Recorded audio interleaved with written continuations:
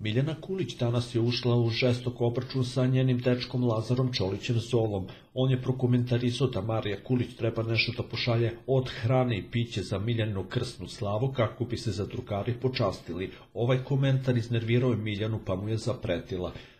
Tokom emisije Amnezija Miljana se obratila porodici Kulić i produkciji, uslovila ih da imaju četiri sata da je izvedu iz realitija. Nemam kome da se obraćam, od porodice Kulić mi jedino zanima Željko Kulić. U roku od četiri sata, ako mama ne bude došla po mene, imam svoje razloge, nisam dobro i to je to.